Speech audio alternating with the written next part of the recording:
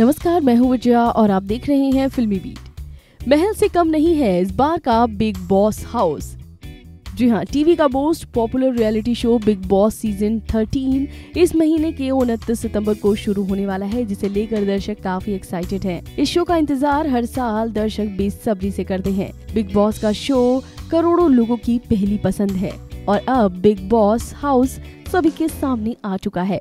ऐसा होगा big boss का हाउस ऐसी है इसकी खासियतें। जी हाँ आपका इंतज़ार खत्म हुआ। बिग बॉस हाउस सबके सामने आ चुका है। सोशल मीडिया पर भी इसकी कई तस्वीरें सामने आई थीं। इस बार का बिग बॉस हाउस किसी महल से कम नहीं है। म्यूज़ियम सा बनाया गया है इस बार का Bigg Boss house Bigg Boss का मेन गेट बेहद खास है। इस पर करीब 20 फीट का बीबी बनाया गया है, जो देखने में बेहद खूबसूरत है। इस बार घर में वाइब्रेंट कलर का इस्तेमाल करते हुए फैंसी टच दिया गया है। हर बार की तरह इस बार भी घर का डिज़ाइन बिल्कुल अलग और काफ़ी अट्रैक्टिव है। लिविंग एरिया से लेकर किचन तक सब कुछ काफ़ी मॉडर्न और एंटीक पीस से डिज़ाइन किया गया है। इसके अलावा जगह जगह पर yo thumbs up peace out जैसे शब्द लिखे हुए हैं।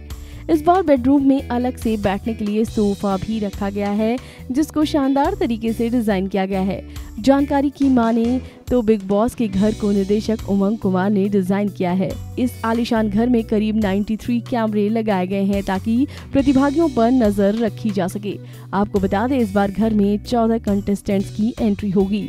बता दें बिग बॉस 13 का ये सेट लोनावाला से मुंबई की फ़िल्म सिटी में शिफ्ट कर दिया गया है। बीते दिनों रिपोर्ट्स थी कि बिग बॉस 13 की प्राइज मनी को 50 लाख से एक करोड़ कर दिया गया है। शो में बड़े बड़े सेलिब्रिटीज को लेने के मकसद से प्राइस मनी को बढ़ाने का फैसला लिया गया। और अब सबके सामने है ये खूबसूरत बिग बॉस हाउस आप देख सकते हैं कितना खूबसूरत है बिग बॉस हाउस